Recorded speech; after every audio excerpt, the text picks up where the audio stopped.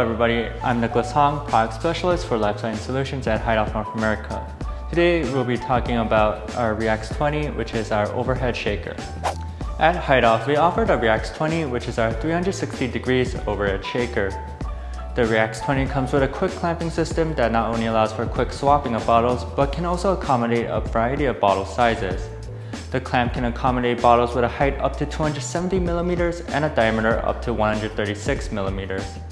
The versatility does not stop there. The Reax 20 can sustain a max load of 30 kilograms, making it suitable for a wide range of tasks.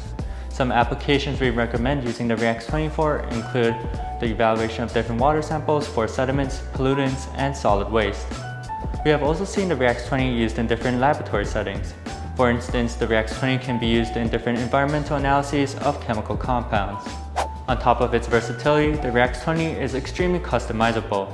The Reax 20 comes in two different models with three different variants. The first model that I have here is able to spin at speeds between 1 to 16 RPM. The second model is able to spin at even faster speeds of 2 to 32 RPM.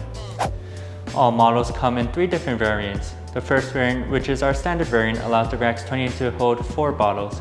The second variant allows the Reax 20 to hold 8 bottles, and our final variant, which is our most robust variant, allows the Reax 20 to hold 12 bottles.